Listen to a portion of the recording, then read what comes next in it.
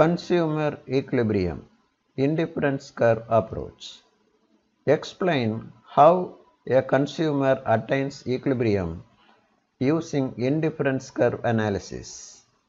This question appeared in 2014 in the ISC board examination carrying 6 marks. Explain the concept of consumer's equilibrium with the help of indifference curve analysis. It appeared in 2016 carrying 6 marks. In this video, we are going to find the answer for these questions. Students shall use the text of this lesson to answer the questions. Now the answer. Consumer is in equilibrium when he maximizes his total utility. To maximize total utility, he has to satisfy the following two conditions. 1. Marginal rate of substitution of x for y equal to px by py that is price ratio. 2. Marginal rate of substitution of good x for good y must be diminishing.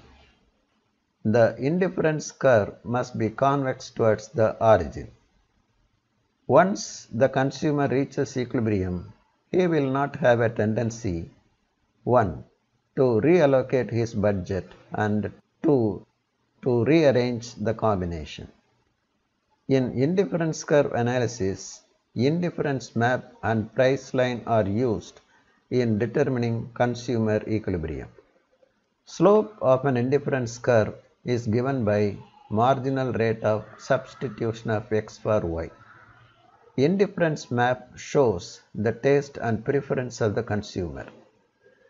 Price line LM is derived from the prices of two goods and the income of the consumer. Slope of the price line is given by the price ratio that is Px by Py. It is the market rate of exchange.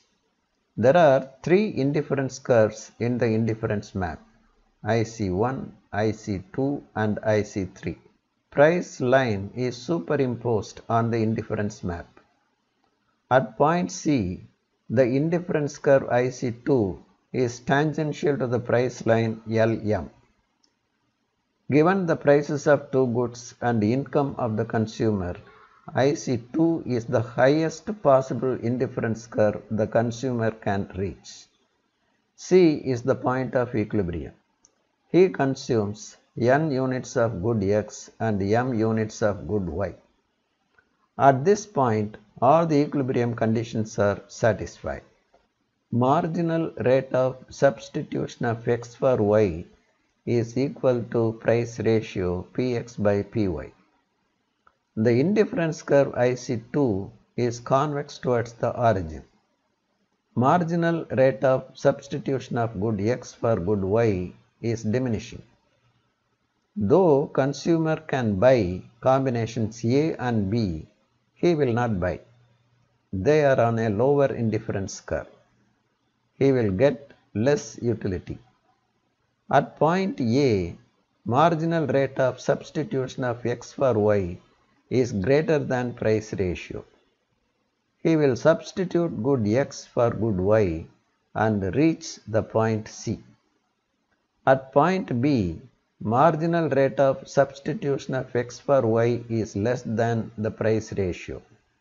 He will substitute good y for good x and reach the point C. The consumer is in equilibrium at point C. He consumes n units of good x and m units of good y. The answer ends here. We shall meet again.